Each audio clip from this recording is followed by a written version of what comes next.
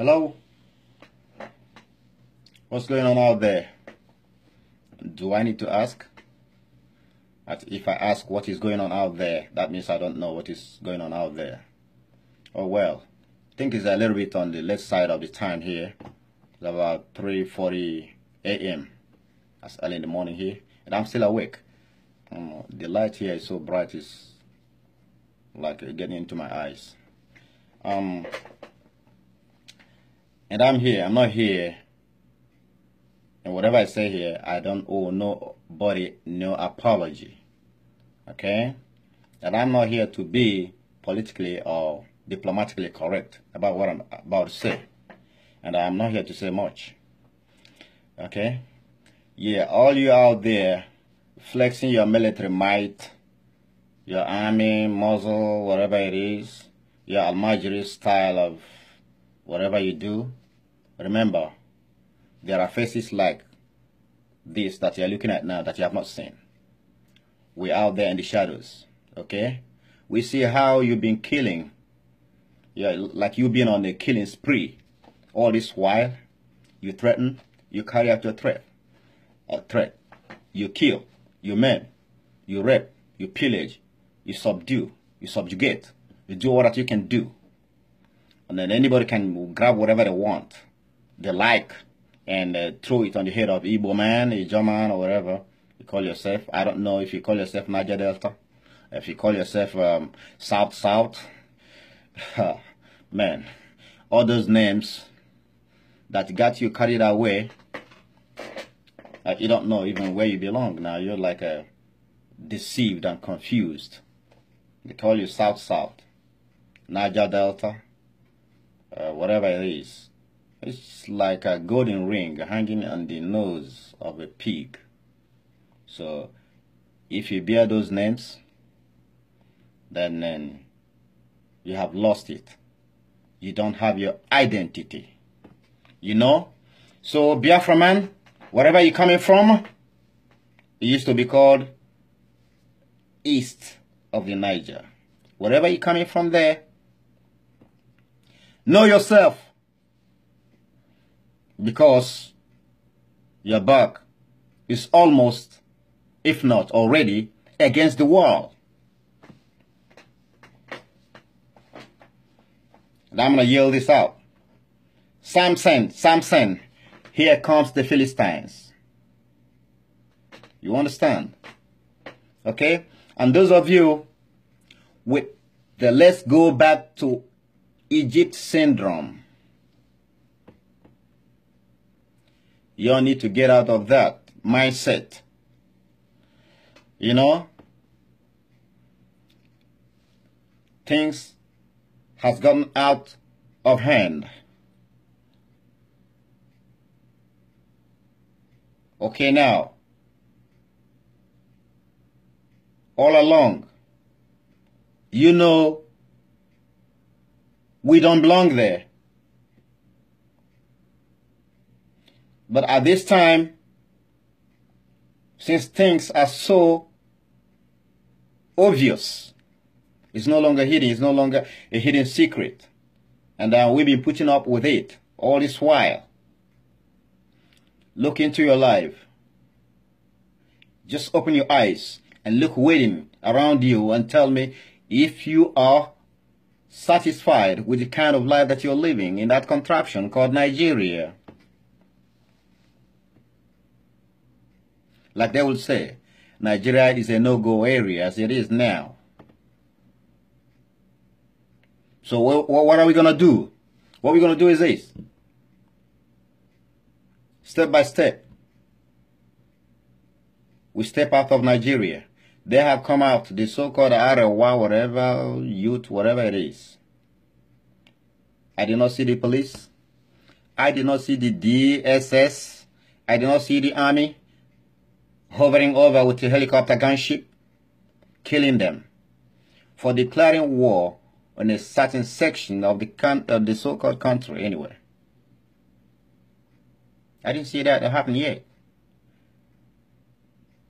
I didn't see the youth felled by bullets from rusty AK-47s. dangling on the shoulders of those Islamic Janjaweed. They call Nigerian soldiers or whatever call military forces, whatever it is. Breaking rules of war. Breaking military ethics and values and ethos. Breaking the Geneva Convention. Killing unarmed civilians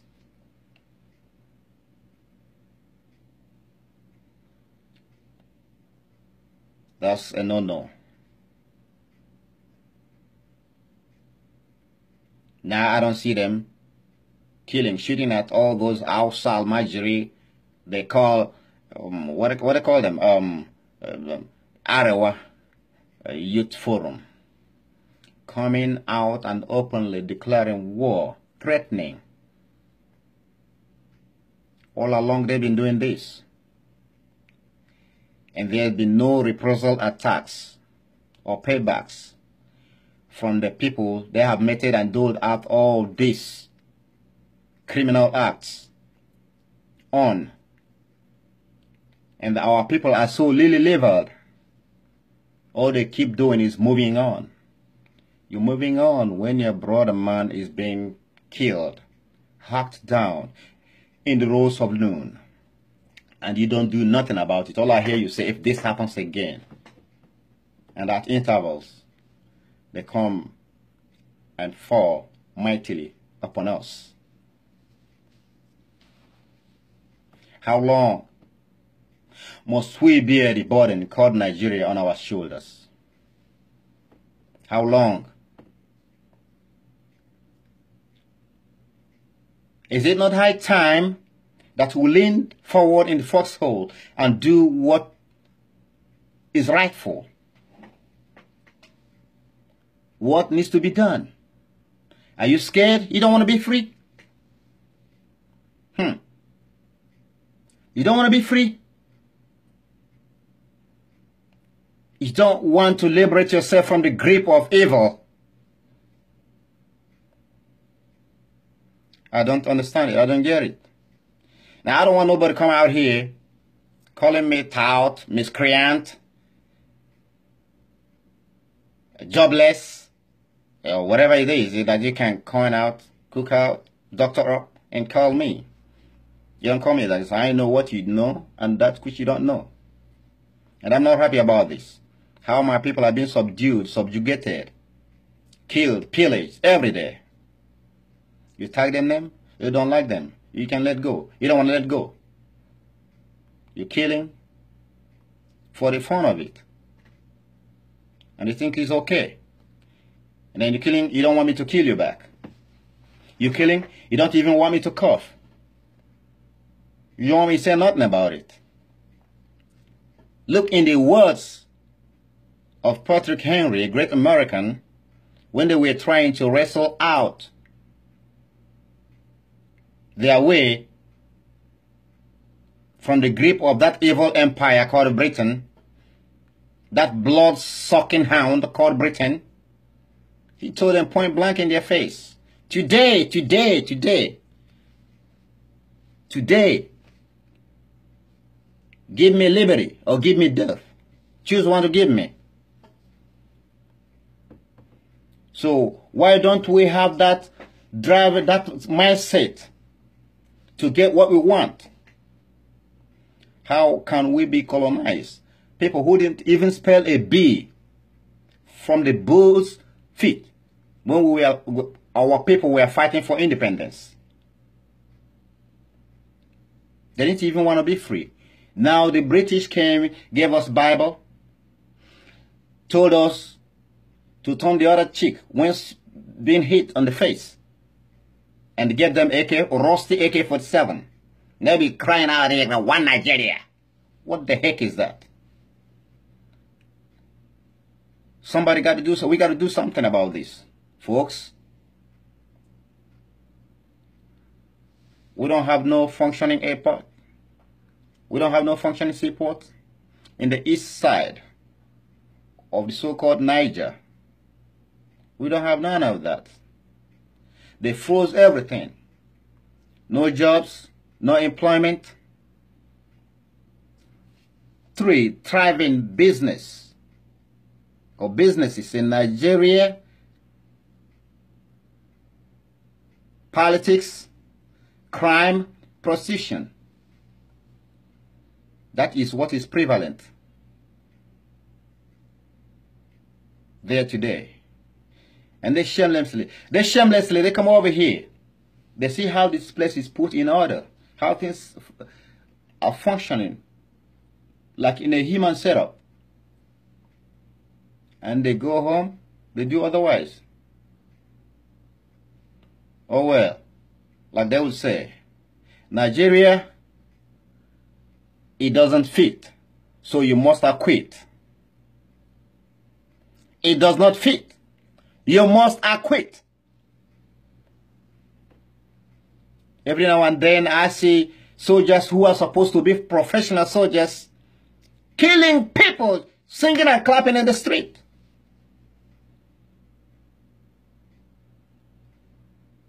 I hear them use the word rule of engagement. Rule of engagement. I don't know what that is. From their own description of what rule of engagement is all about. I see them.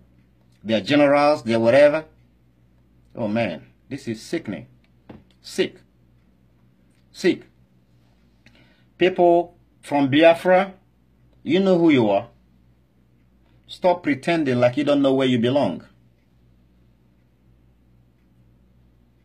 Stop calling somebody your friend when he's not your friend.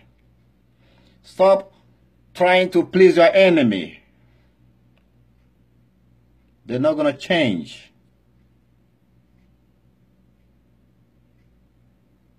Stop playing the coward. Stop always walking home from the backyard like a defeated troop. Stop walking around with your tail between your legs. You got to do something. You got to have the balls to fight back. That is why I said we've got to lean forward in the foxhole. Make no mistake about it. Don't call me no names. Okay? Because I'm not here to be diplomatically or politically correct about what I'm saying. Here. I'm mad seriously mad. I am infuriated. They have raised my ire. It's not only the Hausas, the Fulanis that have young men that can fight. They're not the only one that have young men and women that can pull the trigger. They're not the only one that have young men and women that are technically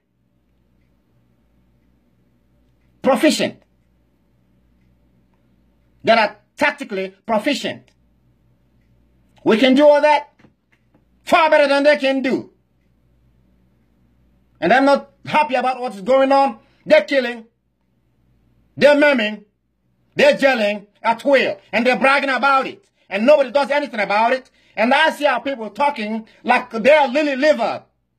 Talking about Ohanaeze, uh, let's do this. These are the kids. I ain't no kid. The people killing you, are they kids?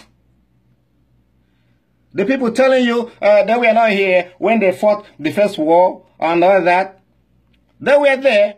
They saw it. Why are they reminding us all the time by the actions and by their utterances of what they did to us? And they're happy about it. It's only in Biafra that Millions of people were killed and swept under the carpet. It has never happened in the history of the world, ever. It has never happened. Ever, ever, ever. It's only us that fought war and went back and sat and relaxed and went the way of those who killed us. We got to do something about it this time around. Our youth, we are youths of Biafra. And I'm telling you this. And I mince not my words about it. What the heck is going on here?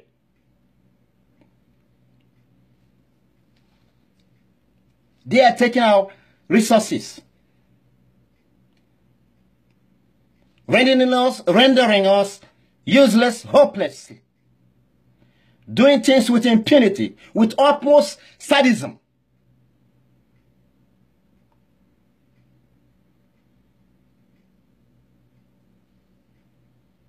Look at what is going on. Look at all the important. Uh, I'm not. I'm not. I'm not, I'm not going to go that way anyway. Look at all the security, chief security positions. If filled all up with people from the same side, the same village, and it's all okay. We dare not say anything. Do things right the way it's supposed to be? No. We going to kill them. We got army, we got police, we got air force, we got this, we got that. Bomb them, kill them, use helicopter gunship, go to Goni land, bombard them, rape their women, maltreat them. Make them see hell. Let them know that this is Nigeria. This is how we do things here. Go to Odi, kill all of them. Give command. We're military, flexing your muzzle. That's bullshit. Don't pile bullshit. Okay?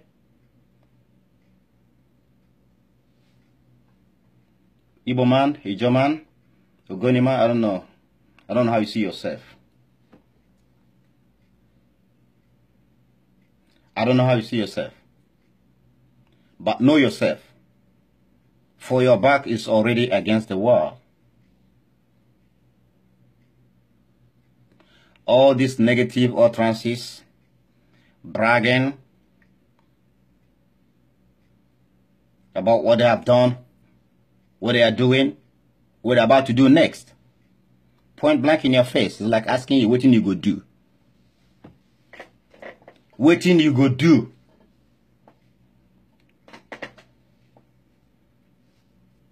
and you are a full-fledged man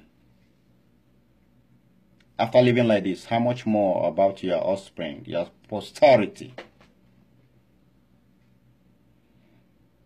those coming after us they're gonna live under the same condition they're not gonna be proud about us we were there with our hands folded, moping, while all these people, these savages, subdued us. Folding our hands you got property in Lagos, Abuja, and all that. You never know. You got your lives. But every time the outside's back, you all start running to the east. Why don't you stand there and grip, lay hold of your property? Why are you running back to the east? And after a little while, you go back again. They start hacking you down. And they make pronouncement with bo utmost boldness that you can go to hell. There's nothing you can do about it. Oh man, oh man, oh man, oh man, oh man. What's going on here? It's time we done something about this. Now, they have gone inside their houses and had their meetings and came out and made pronouncements. What you are doing? What you are waiting on? They'll go about killing your people, and I see your governors grinding, running to Abuja, shaking the hands of a bloody killer, bowing before him like stupid slaves. What are we living for? This is outrageous. Oh, piteous spectacle. Know yourself. Let us all come together and start to this one clarion call and do what you got to do.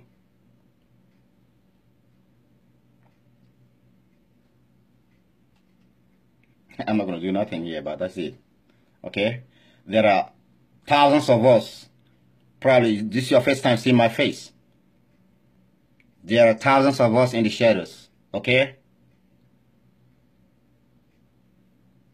I'm not going to say thank you here.